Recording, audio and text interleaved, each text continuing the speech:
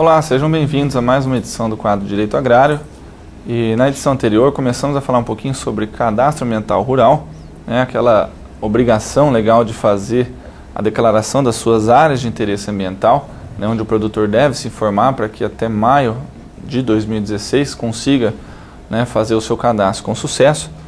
E lembrando que é, o que importa ao produtor também é saber que o cadastro ambiental rural vai servir e já serve como instrumento de mercado, seja para negociação entre pessoas particulares, seja junto a empresas como frigoríficos, bancos e usinas, né, onde muitas empresas já estão exigindo o cadastro ambiental rural para poder fazer as negociações. Até mesmo né, orienta-se para que um produtor, ao adquirir futuramente uma propriedade rural, esteja sim em posse do cadastro ambiental rural desta propriedade para evitar que futuros passivos ambientais sejam atribuídos né, à, sua responsabilidade. Enfim, é, lembrando que o CAR também nada mais é então do que um documento de identidade da propriedade rural. O CAR ele é um registro eletrônico obrigatório para todas as propriedades e posses, né, para todos os imóveis rurais, né, como já definiu o, o decreto 7830, e o artigo 29 do Código Florestal, né, a lei, uma lei de 2012. Então o CAR é um registro eletrônico de âmbito nacional. Ele é eletrônico, ele é feito através do, aqui no estado do Mato Grosso do Sul, através do site do IMASU, e em outros estados através do Sistema Nacional. E a finalidade do CAR é integrar informações de interesse ambiental das propriedades rurais. Né, as áreas de preservação permanente, as, as áreas de reserva legal, áreas de uso restrito, mais uma informação importante é que o fim do prazo do CAR não significa que não será mais possível fazê-lo.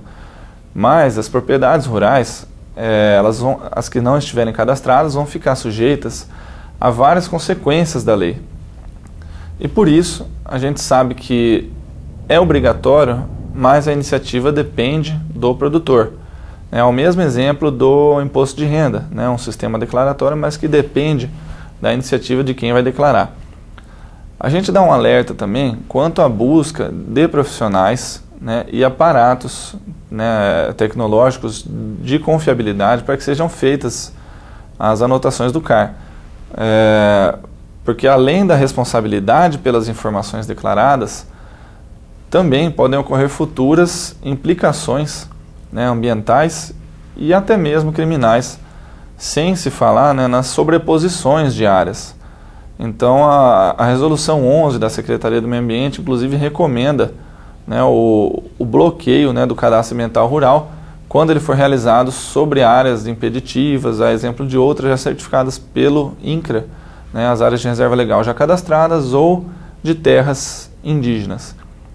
Então, muitos produtores eles se questionam sobre a, a necessidade né, de criar ou manter reservas legais em todos os imóveis. E a resposta está naquela data de corte do Código Florestal, que é 22 de julho de 2008, quando imóveis rurais que tinham na data até quatro módulos fiscais né, e que possuam é, remanescentes de vegetação nativa, né, em percentuais menores ao que está previsto no artigo 12, né, que fala sobre a reserva legal, será constituído como área consolidada, né, área com é, ocupação nativa existente antes dessa data de corte. Então, é, serão vedadas né, novas conversões para o uso alternativo do solo, né, ao exemplo do que fala né, o artigo 67 do Código Florestal. E nos demais casos, todo imóvel rural deve manter a área com cobertura de vegetação nativa né, a título de reserva legal.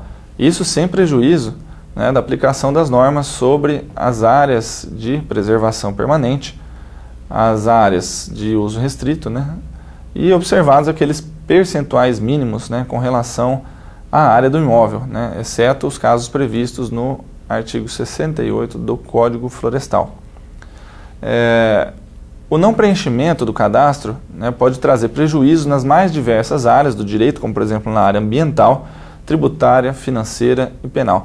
Na área ambiental pode acarretar multas né, e até mesmo a suspensão de, de multas cometidas até 22 de julho de 2008, o produtor vai ficar sem esse benefício.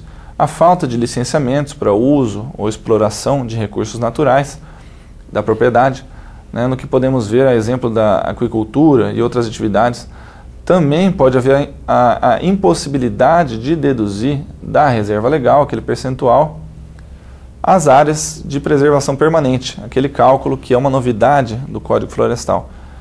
Bom, e na esfera tributária, a falta do CAR pode ainda implicar no cálculo do ITR, porque no imposto territorial são abatidas as áreas de APP e de reserva legal, que vão passar a ser demonstradas, declaradas no CAR. Bom, e por fim, né, nos problemas criminais, que ainda são pouco passíveis de preocupação, mas a gente já deixa esse alerta, a Lei de Crimes Ambientais que é de 1998, a Lei 9605, garante que aquele que deixar de cumprir uma obrigação legal contratual na área ambiental, isso é considerado crime. Então eu trouxe hoje algumas informações sobre cadastro ambiental rural e no próximo quadro a gente continua com um pouquinho mais de informação jurídica sobre o agronegócio neste quadro Direito Agrário. Muito obrigado.